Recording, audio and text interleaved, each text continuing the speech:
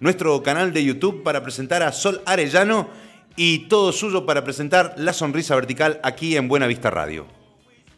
Eh, siempre viene bien recordar La Sonrisa Vertical, es una columna eh, eh, donde escuchamos música con mirada de géneros. La idea es visibilizar a aquellas artistas que eh, por ahí no han sido muy famosas o que sí, pero a rescatar algún aspecto de su carrera, de su recorrido que tiene que ver con este, una mirada feminista o por lo menos con una mirada bastante independiente de lo que significan las industrias y, y los consumos masivos.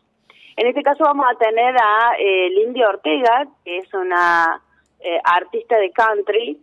eh, el primer contacto que tuvo Lindy Ortega con la música fue a una edad muy temprana. Eh, recuerda que su madre estaba obsesionada con el country y se dedicaba a poner el tocadiscos todo el tiempo en la casa. Entonces ella dice que se recuerda a sí misma mirando eh, y escuchando con su mamá la colección de discos y sentir una conexión muy fuerte con esa música. Eh, se afirma eh, como referente, como uno de sus referentes a Johnny Cash y, y al elegante estilo de Leonard Cohen, por ejemplo. Y por supuesto a las heroínas del country, Claro. Dolly Parton, Loretta Lynn. Ajá. La música la acompañó en, eh, en las etapas de crecimiento hasta que hubo un día que prefirió ser la creadora y en el 2001 sacó su primer EP. Ajá. Eh, tenía este, apenas 17 años cuando agarró la guitarra por primera vez, estaba colgada en la pared en la casa de sus padres, escribió su primera canción que se llamó Five Death Dress, eh, que trata de eh, cuando su primer novio la dejó el día del, del baile de graduación. Ajá. está. alrededor de una década cuando recién logra, este, eh, como artista independiente en su ciudad natal, eh, que la prensa reparara en ella y la describieron en ese momento como el secreto mejor guardado de Toronto. Así fue definida esta cantante canadiense cuando empezaba su carrera. Eh, Linda interpreta y compone y canta con una dulcísima voz, salida de los años 50, un rejuvenecido country pop, podríamos denominar. Qué interesante. Eh, es canadiense, pero de orígenes mexicanos e irlandeses. Una, una buena mezcla. Tiene una, a su espalda una larga carrera de siete discos, varios EP también, y tiene 20 años más, más o menos, estaría cumpliendo en estos tiempos este, dentro del mundo profesional de la música. Con mucho sacrificio eh, ha conseguido hacerse un hueco dentro de la actualidad de las nuevas bandas de rock sureño. De hecho, se traslada a vivir a Nashville, que es como la cuna de, de esta música, ¿no? Donde permaneció hasta que se casó y, y de- después, luego de casarse, se vuelve a su país, a Canadá. Eh, pero fue realmente en Nashville donde ella logra este, moldear su pauta musical y fue comparada, como te decía anteriormente, con las hi- históricas heroínas del country, eh, Dolly Parton, por ejemplo, Loretta Lynn, Wanda Jackson. Eh, si bien los suyos son sonidos vaqueros, hay una interesante mezcla eh, con otros estilos, por ejemplo con el soul. Mm. Eh, disfruta mucho de hacer versiones, eh, por ejemplo hace versiones de los Bee Gees, de Dylan, de Cohen, de los Eagles, todas asouladas, si se me permite el término. Perfecto. Estamos Pero escuchando. no todo sí. ha sido... mm, Sí, ¿estamos escuchando Cortina? sí, sí, estamos escuchando To Love Somebody, algo de las canciones más conocidas del Indio Ortega. Eh, esa es una versión de los Bee Gees, Ajá. Somebody. Mirá vos. eh, lo- que también lo hizo este Janis Joplin ese tema. Bien. Eh, pero seguimos adelante con la carrera de Lindy. Sí. Eh, no todo ha sido fácil para ella. Este, eh, se planteó en un momento dejar la música porque no con- conseguía compaginar su vida profesional con la personal y tampoco conseguía este, mantenerse financieramente con esta, con esta carrera. Y ella va a decir, en este sentido, en esta industria es difícil sobrevivir y hacer dinero. Para hacer dinero tenés que estar todo el tiempo en la carretera, dice ella, yendo de concierto en concierto, es muy sacrificado. eh, pero le dio una vuelta de tuerca. Lejos de abandonar este modo de vida, decide dejar su disquera, que es Last Dan Records, Ajá. el sello habitual con el que trabajaba, para crear el suyo propio. eh, quería ser independiente, dice ella, tomar mis propias decisiones, redactar mis propios contratos y explorar nuevos caminos. Así que se armó su propio sello y con ello, con él va a editar su última, su último disco, su última placa, que em, se llama Liberty.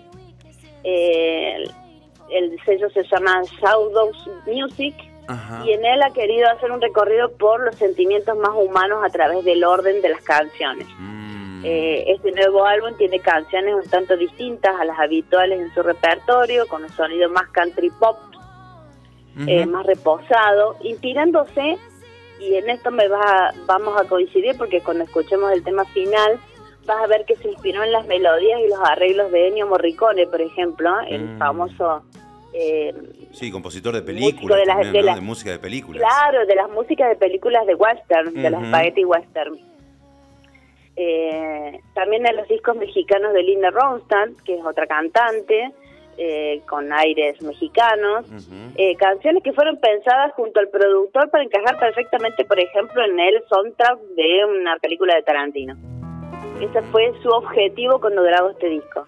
Una de las últimas canciones, Sol, de este disco el Liberty Piano Songbook, así se llama, es Gracias a la Vida, ¿no? Un, clásico por lo menos. Exactamente, te iba a contar eso porque se trata de un álbum conceptual que está dividido en tres partes y que va a llevar a un personaje durante todo el disco.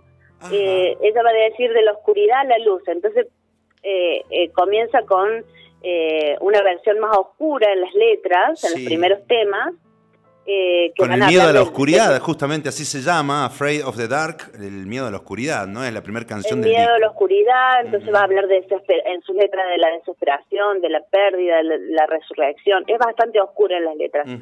Eh, para luego ir camino hacia la luz, culminando con la versión que ella le parece que fue absolutamente perfecta para cerrar el disco, que es Gracias a la Vida de Violeta Parra. Eh, una versión más meditativa, eh, pero que va a cerrar eh, toda esta historia de este personaje que atraviesa todo el álbum.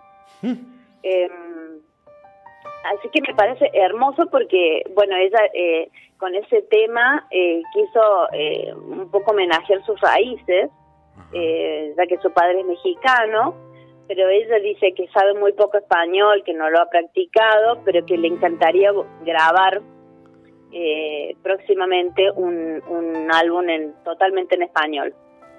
Qué lindo, la verdad que, bueno, eso, siguiendo también un poco la, el correlato de los textos o de los nombres de las canciones, justamente, ¿no?